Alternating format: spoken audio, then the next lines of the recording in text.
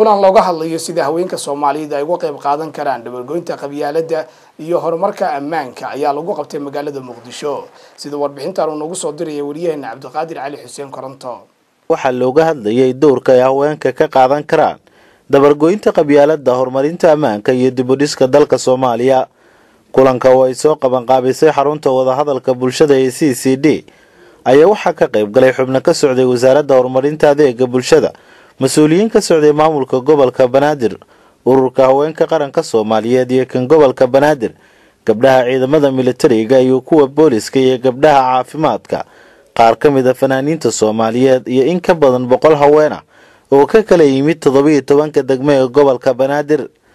Ugu horeyn waxaa kulanka ka hadlay warsame maxamed xasan warsame joodax oo ah guddoomiye ku-xigeenka maamulka gobolka banaadir ee dhinaca ammaanka isagoona ka codsaday haweenka soomaaliyeed inay ka shaqeeyaan adkeynta ammaanka. Waxyaabaha aada muhiim noogu ah aan inaad wax badan ka qaban karto waxaa ka mid ah nabadgelyada. Dadkeennii soomaaliyeed maalin walba waa la dilaa magaaladeennii soomaaliyeed oo nabadda lala raadinayo maalin walba batuuris iyo dadilis iyo shida laga dhamayn la-yahay. Haddii aan haweenka soomaaliyeed ayan ka qayb qaadana nabadda lama heli karayo dadka soomaaliyeed oo dhan sababtu waxa weeye meel walba ee ciidanku taagan yahay iyo geed walba ma jirto.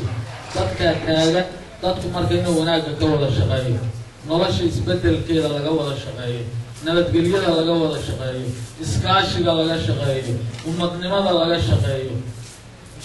Dadka soomaaliyeed waana isugu keena mid waa wada walaalaheeni waa wada inaan sidaas xisaabtano waxaa sidoo kale hadal kooban halkaasi ka jeedisay jawaahir maxamed baarqab guddoomiyaha ururka haweenka gobolka banaadir. Gobolka banaadir. Waa hooyadii sideed iyo tobanka gobol ee dadka soomaaliyeed ay ku faanaan caasimadii muqdisho. Ayaan nasiib u yeelanay gobol ahaan inaan anagu maanta aan ku noolaano waxaa la rabaa marka waxaan samaynaynaa gobolka banaadir waxaan ku dhaqmaynaa qabiil iyo eex iyo ninjeclaysi mise waxaan isku dooranaynaa ku wada noolaanaynaa. Waxaan nahay dhammaanteen dad soomaaliyeed. Waxaan leenahay hal af. Waxaan leenahay diinteennu waa midab ee waa mid midabkeenna waa hal mid. Waxaan nahay ehel waxaan nahay xigaalo waxaa loo baahan yahay marka in aan samaysano bridge labadan cudur aan kaga baxno. Muxuu noqon karaa marka waa midnimo waa sinaan waa cadaalad iyo isu tanaasul waxaa sal u ah inaan iscafino.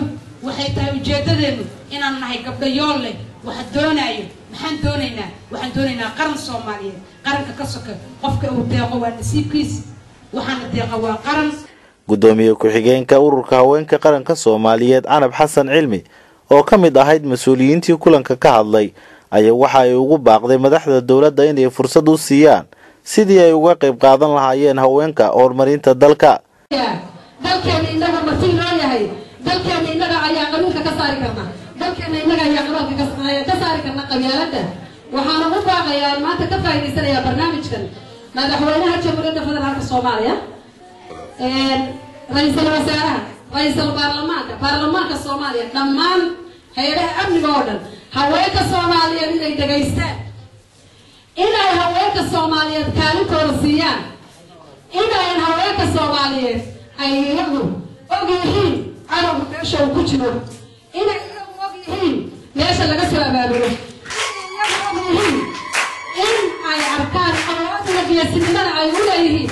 Weliba waxaa ugu baqayaa dowladda in golaha amniga lagu daro haweenka in gudida amniga lagu daro haweenka in ay wasaaradda arrimaha guduhu ay la shaqayso shacabka. Waxaa wada shaqeeya wasaaradda arrimaha gudaha iyo hay'adaha amniga dhallinyarada iyo haweenka saxaafadda iyo fanaaniinta intaasi way wada shaqaysaa hadday intaasi wada shaqayso dadku waa guulaysanaya kulankani ayaa qayb ka ah kulamo inta badan lagu qabto gudaha dalka iyo dibaddiisa oo diiradda lagu saaro dhibaatada qabyaaladda iyo sidii kow iyo labaatan sano kadib looga gudbi lahaa qabyaaladda aafaysay bulshada soomaaliyeed. Cabdulqaadir cali xuseen koronto somaali channel magaalada muqdisho